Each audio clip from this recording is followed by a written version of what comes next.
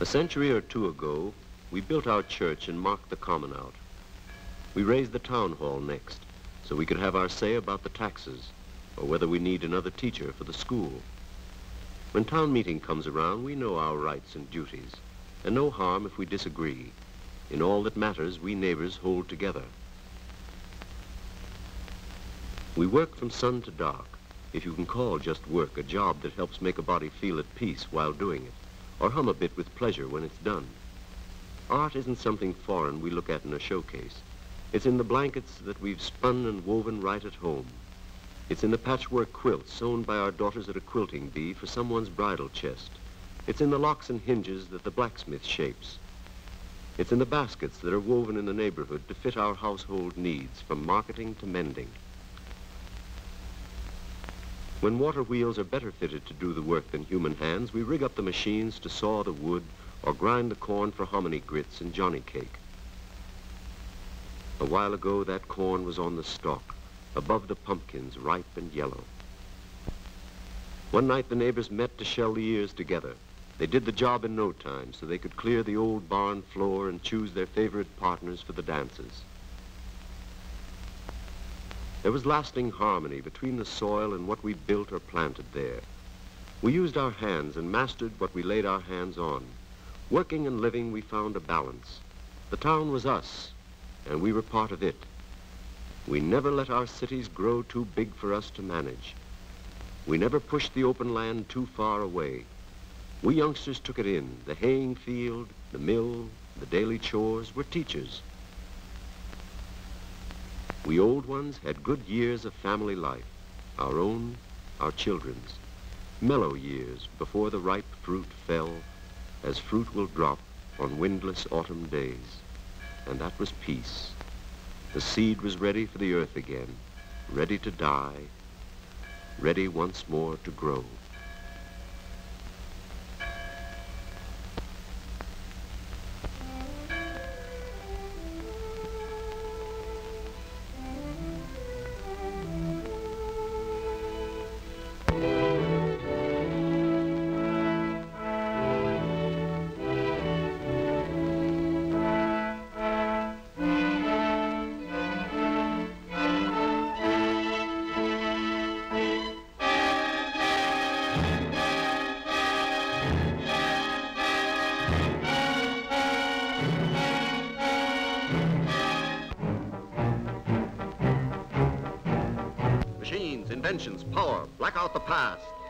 Quiet cities. Bring in the steam and steel, the iron men, the giants. Open the throttle, all aboard, the promised land. Pillars of smoke by day, pillars of fire by night, pillars of progress. Machines to make machines, production to expand production. There's wood and wheat and kitchen sinks and calico, all ready-made in tons and carload lots, enough for tens, thousands, millions, millions, faster and faster, better and better.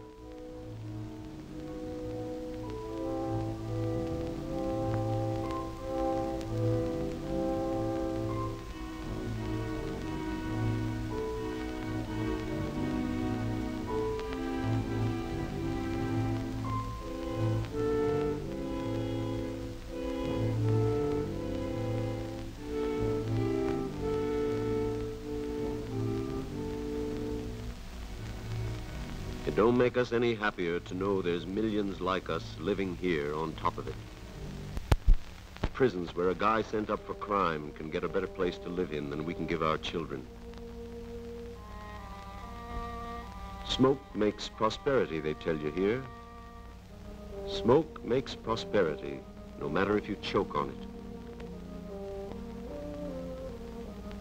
We got to face life in these shacks and alleys. Got to let our children take their chances here with rickets, typhoid, TB, or worse. They draw a blank, the kids. They have no business here, this no man's land, this slag heap wasn't meant for them. There's poison in the air we breathe. There's poison in the river. The fog and smoke below rise up and choke us.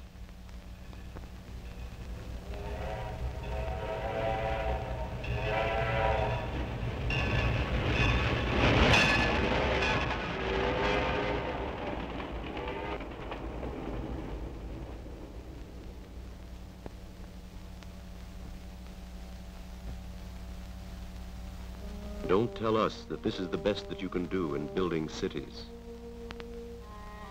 Who built this place? What put us here? And how do we get out again? We're asking. Just asking. We might as well stay in the mills and call that home. They're just as fit to live in. We mine the coal, load the furnace, roll the steel, drive the rivets. We lock the bolt on the assembly line. Lucky if we have the chance to keep the job from day to day, from month to month.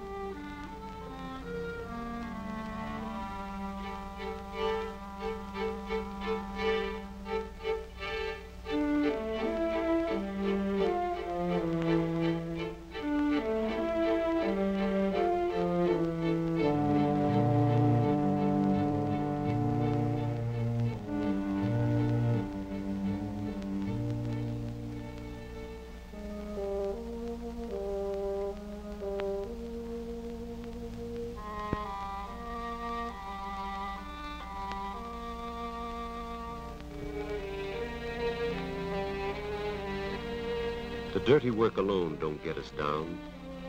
We're not ashamed to handle coal and iron all the way from mine shafts to skyscrapers. We turn out cars or tractors we're mighty proud of, same as you. But how does that make sense with this?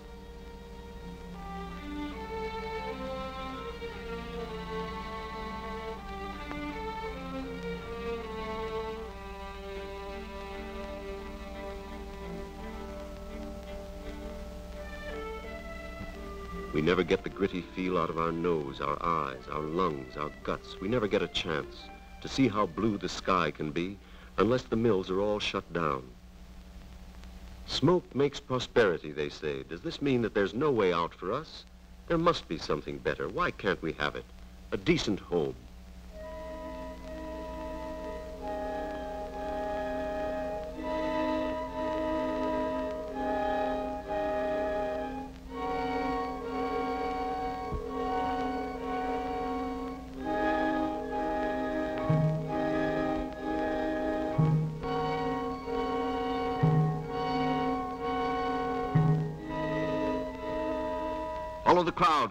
Money. You make a pile and raise a pile. That makes another pile for you. Follow the crowd. We've reached a million, two million, five million. Watch us grow. Going up. It's new. It's automatic. It dictates, records, seals, sterilizes, stamps, and delivers in one operation without human hand. What am I bid? What am I offered? Sold. Who's next? The people, yes. Follow the crowd to the Empire City, the Wonder City, the Windy City, the Fashion City. The people, yes. The people, perhaps.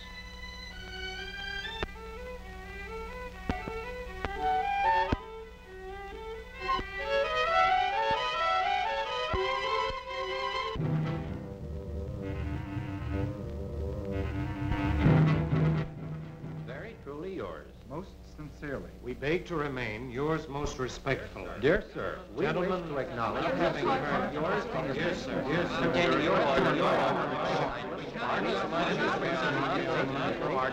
Miss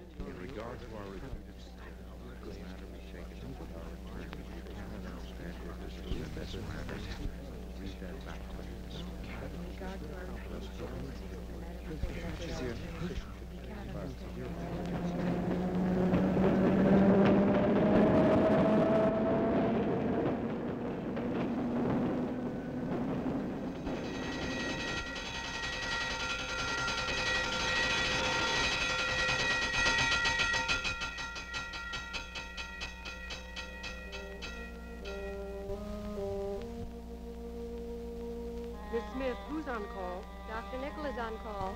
Dr. Nickel. Dr. Nickel, crushed foot in the ward.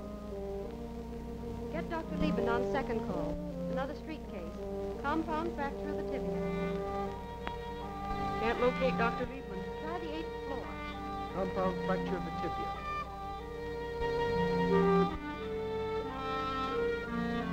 Crushed leg, arterial supply gone,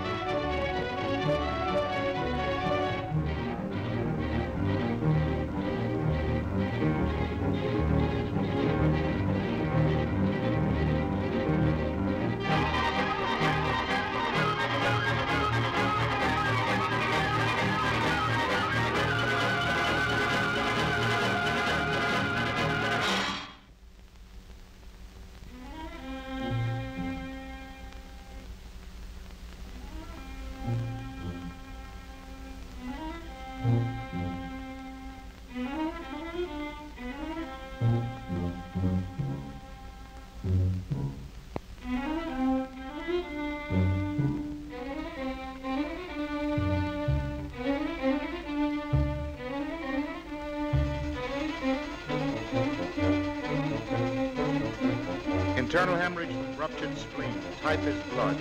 Put him in serious. Yes, Dr. Bradley.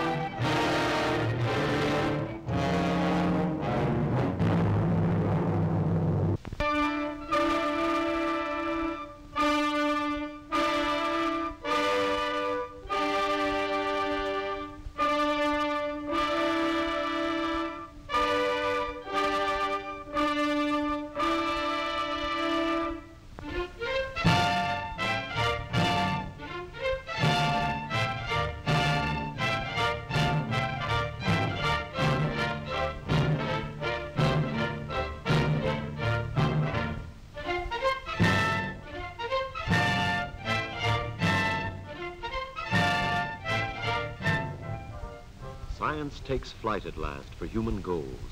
This new age builds a better kind of city, close to the soil once more, as molded to our human wants as planes are shaped for speed.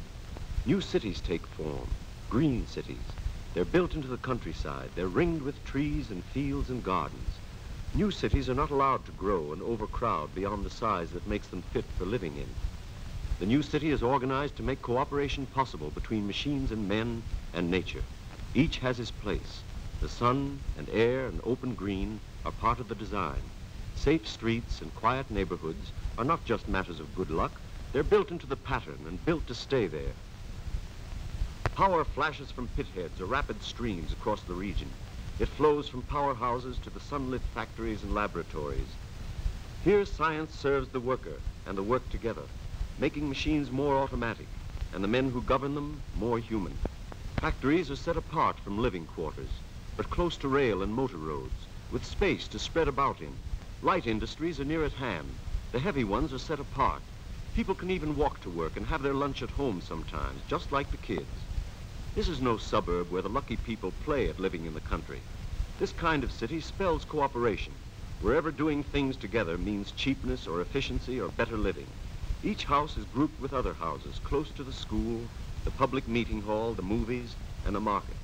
Around these green communities, a belt of public land preserves their shape forever.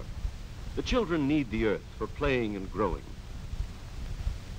bringing the city into the country, bringing the parks and gardens back into the city, never letting cities grow too big to manage, never pushing the meadows, fields, and woods too far away. This works as well for modern living as once it did in old New England towns.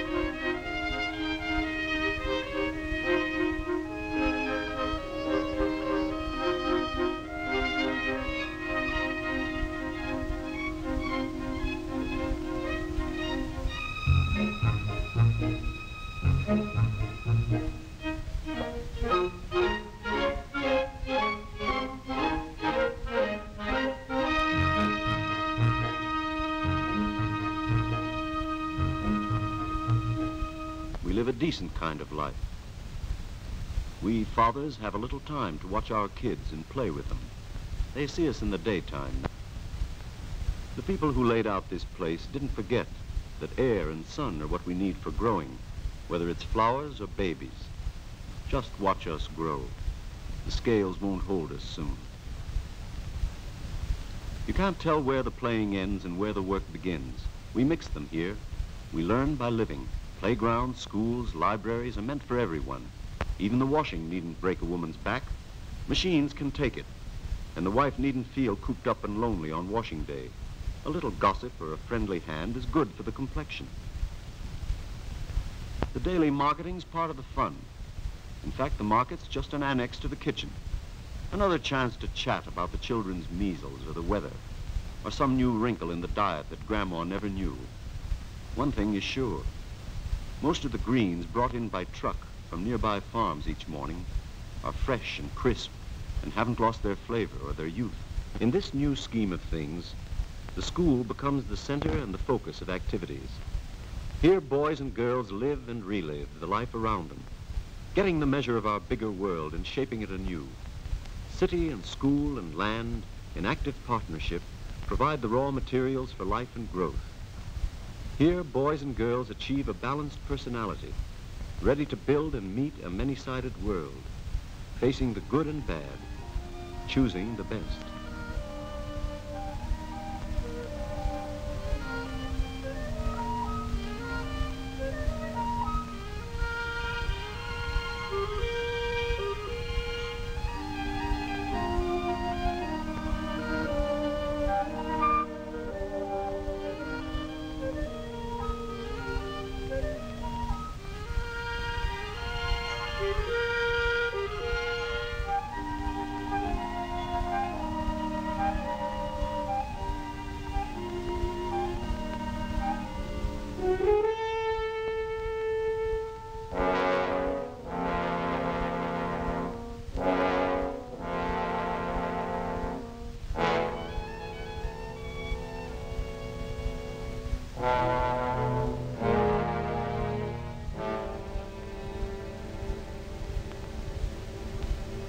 Take your choice.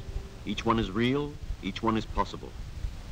Shall we sink deeper, sink deeper in old grooves, paying for blight with human misery? Or have we vision, have we courage? Shall we build and rebuild our cities, clean again, close to the earth, open to the sky? Can we afford a house, a neighborhood, a city as good as this for everyone? Maybe the question is, can we afford all this disorder? The hospitals, the jails, reformatories, the wasted years of childhood. These are future citizens, voters, lawmakers, mothers, fathers. Take your choice. Each one is real, each one is possible. Order has come, order and life together. We've got the skill, we've found the way. We've built the cities. All that we know about machines and soils and raw materials and human ways of living is waiting. We can reproduce the pattern and better it a thousand times. It's here, the new city, ready to serve a better age. You and your children, the choice is yours.